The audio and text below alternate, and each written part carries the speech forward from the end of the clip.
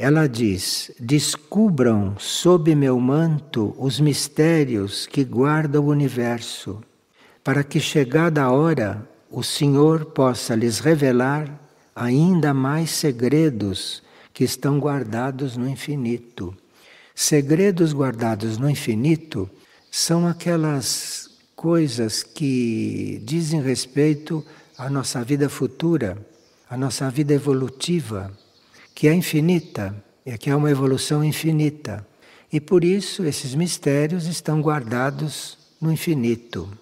E cabe a nós descobrirmos isto.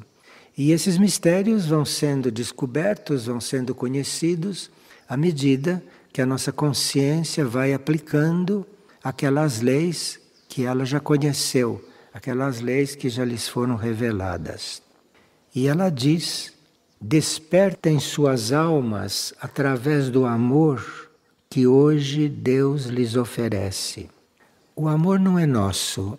O amor, como já sabemos, vem de Deus, não é? Deus é que é amor.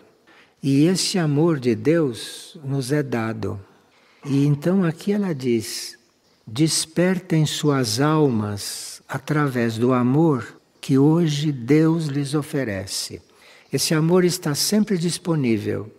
E este amor de Deus é muito importante porque ele alimenta as almas. As almas vivem do amor de Deus. Este amor que na terra não existe, este amor que vem desses níveis muito elevados de consciência, da consciência divina. Então aqui, veja, despertem suas almas através do amor que Deus lhes oferece. É tempo de abrirem o coração para a existência imaterial e de podermos viver sobre a terra as infinitas possibilidades que guardam como criação perfeita de Deus.